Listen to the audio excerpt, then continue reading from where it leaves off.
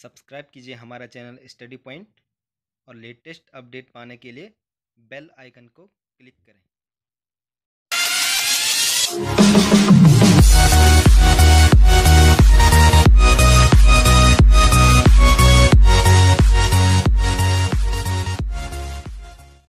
स्वागत है आप सभी मित्रों का एक बार फिर मेरे यूट्यूब चैनल स्टडी पॉइंट में।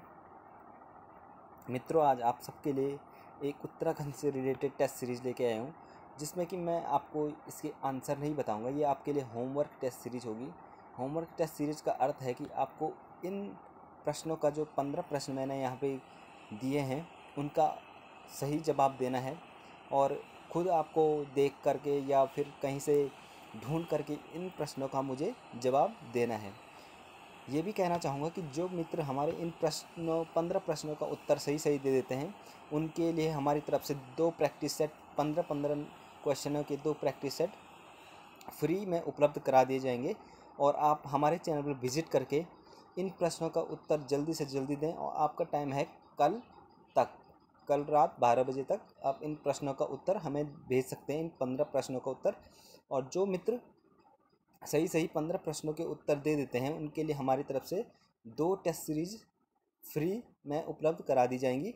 और आप इन टेस्ट सीरीज़ के लिए यूट्यूब पे, हमारे चैनल पे विज़िट करिए, कमेंट बॉक्स में इनके आंसर दीजिए और आंसर के साथ साथ अपने मोबाइल नंबर भी वहाँ जो है ऐड कर दीजिएगा, जिससे कि हम आपको टेस्ट सीरीज़ उपलब्ध कराएँ, जो मित्र हमारे सही सही जवाब देंगे, वो कृपया हमारे चैनल पर विज़िट करें। और ये प्रश्न ऐसे हैं कि यू के एस एस सी के करंट बेस जो कि यूनिक बेस पे हैं, जहाँ से कि आपको नए नए प्रश्न देखने को मिलते हैं और फिर आप वहाँ पे चौंक जाते हैं कि ये प्रश्न आए कहाँ से। तो इसी बेस पे ये प्रश्न तैयार किए गए हैं। इन प्रश्नों को मज़ाक में मत लीजिएगा आप। ज़्यादा से ज़्यादा इनको सॉल्व करने की कोशिश कीजिएगा और ज़्यादा से ज़्यादा देखें, ढूँढें, फिर आपको पता लगेगा कि ये क्वेश्चन हैं क्या, ठीक है? तो ज़्यादा से ज़्यादा जवाब देने की कोशिश कीजिए हमारे चैनल विज़िट कीजिएगा। और जो पहली बार हमारे चैनल पर आ रहे हैं कृपया हमारे चैनल के लाइक कीजिए सब्सक्राइब कीजिए शेयर कीजिए ताकि आप ऐसे ही प्रश्नों के साथ हमसे बने रहें और अपनी तैयारी को एक जो है अच्छी दिशा में ले जाने का प्रयत्न करें। और हम आपके लिए ऐसी एक यूनिक प्रश्नों की जो टेस्ट सीरीज़ लेते आए आ, ले आते रहेंगे आपके लिए लेके आते रहेंगे। तो कृपया अधिक से अधिक लाइक, शेयर और सब्सक्राइब कीजिएगा। अपने मित्रों को भी ये बताइएगा क्या पता उनको प्रश्नों के उत्तर पता हों। तो शुरू करते हैं। आपको इनके उत्तर देने हैं। पहला प्रश्न, रक्षाबंधन के दिन केदारनाथ में मनाया जाने वाला उत्सव कौन सा होता है? रक्षाबंधन के दिन केदारनाथ में मनाया जाने वाला उत्सव कौन सा होता है? ये आपको बताना है। दूसरा प्रश्न है, सूर्यवंश के विद्रोही सेना नायक खास खां को किस चंद शासक ने संरक्षण प्रदान किया था? ठीक है, ये आपको बताना है कि किस सन किसने, किस चंद शासक ने इसको संरक्षण प्रदान किया था? तीसरा प्रश्न है, ये तो सरल ही प्रश्न है आइन अकबरी में कुमाऊं सरकार को किस सूबे के अंतर्गत दिखाया गया था? आइन अकबरी, ठीक है, आपको पता होगा आइन अकबरी जो है, उसमें कुमाऊं सरकार को किस सूबे के अंतर्गत दिखाया गया है, ये आपको बताना है। चौथा प्रश्न है, ग्वरख्या उबरा का संबंध किससे है? ग्वरख्या उबरा का संबंध किससे है? पांचवा प्रश्न है खलंगा दुर्ग स्थित है। आपको ये बताना है कि खलंगा दुर्ग वर्तमान में कहाँ स्थित है? ठीक है, छठवां क्वेश्चन है, उत्तराखंड में अगरिया जाति का मुख्य व्यवसाय था। अगरिया जाति का मुख्य व्यवसाय क्या था? सातवां प्रश्न है टीरी रियासत में परगने को किस नाम से जाना जाता था? जो परगने होते थे इतिहास आपने पढ़ा होगा, उसमें परगने होते थे। एक परगने जो छोटे छोटे परगनों में बांट दिया जाता था राजा राजा के द्वारा, ठीक है? और उनसे जमींदारों से, के द्वारा वहाँ से टैक्स वसूला जाता था, कर वसूला जाता था। तो टीरी रियासत में जो परगना था, उसको किस नाम से जाना जाता था? ये आपको बताना है। किस गढ़वाली शासक ने गढ़वाली संपर्श नाम से फौज बनाई थी? किस गढ़वाली शासक ने, या गढ़वाल के जो राजवंश है, उसमें से किस शासक ने गढ़वाली संपर्श नाम से फौज बनाई थी। ये भी आपको बताना है। मानस खंड में उल्लेखित ब्रह्मा पर्वत स्थित है। मानस खंड में उल्लेखित जो ब्रह्मा पर्वत का उल्लेख किया गया है, वो वर्तमान में कहाँ स्थित है? ठीक है? दसवां प्रश्न है, प्रोजेक्ट लक्ष्य उत्तराखंड के किस ज़िले से संबंधित है? प्रोजेक्ट लक्ष्य, एक लक्ष्य है, प्रोजेक्ट लक्ष्य, वो उत्तराखंड के किस ज़िले में लागू हुआ था और किस ज़िले से ये संबंधित है? ये आपको बताना है।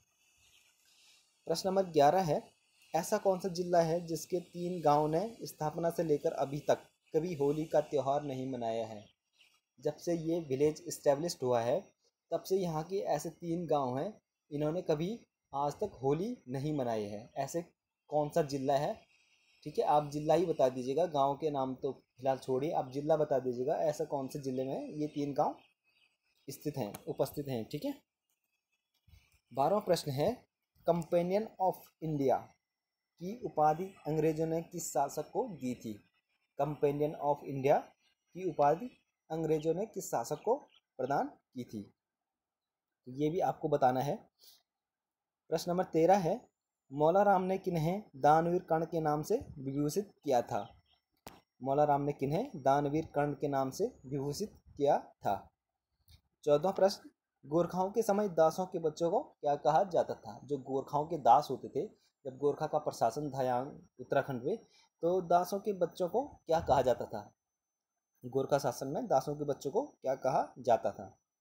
ये भी आपको बताना है। पंद्रह प्रश्न है। द्वाराहाट मंदिर समूह का सबसे बड़ा मंदिर समूह, ठीक है? का सबसे बड़ा मंदिर कौन सा है? यहाँ पे थोड़ा मिस प्रिंट हो रखा है। ये प्रश्न ऐसा है द्वाराहाट मंदिर समूह का सबसे बड़ा मंदिर समूह का सबसे बड़ा मंदिर कौन सा है? जो द्वाराहाट मंदिर समूह है, ठीक है? उसका जो सबसे बड़ा मंदिर समूह है, वो कौन, किस मंदिर का है? ठीक है? सबसे बड़ा मंदिर समूह किस मंदिर का है? ये प्रश्न ऐसा है। तो यहाँ पे ये पंद्रह प्रश्न है, जो कि सारे यूनिक प्रश्न हैं। यू के एस के नए पैटर्न पे ये है और आप अगर ऐसे ही आजकल क्वेश्चन पूछे जा रहे हैं जिससे कि पेपर में हम जाते हैं तो चौंक जाते हैं कि प्रश्न आए कहाँ से हैं। तो इसलिए इनको ज़्यादा से ज़्यादा सॉल्व भी कीजिएगा। आप इनकी पीडीएफ भी डिस्क्रिप्सन बॉक्स से डाउनलोड कर सकते हैं और आपको पीडीएफ भी उपलब्ध करा दी जाएगी लिंक के द्वारा। वहाँ से आप डाउनलोड कर सकते हैं और ज़्यादा से ज़्यादा अधिक से अधिक इसके जवाब दीजिएगा। ठीक है? जैसे कि मैंने आपको पहले बताया, जो पंद्रह प्रश्नों को सही जवाब देगा, उनको ऐसे ही पंद्रह पंद्रह मतलब तीस प्रश्न, जो पंद्रह क्वेश्चन का एक और पंद्रह का दूसरा दो प्रैक्टिस सेट आपको उपलब्ध करा दिए जाएँगे और कृपया अपना नंबर के साथ आंसर दीजिएगा। कमेंट बॉक्स में धन्यवाद और जल्दी से जल्दी कृपया आंसर करें।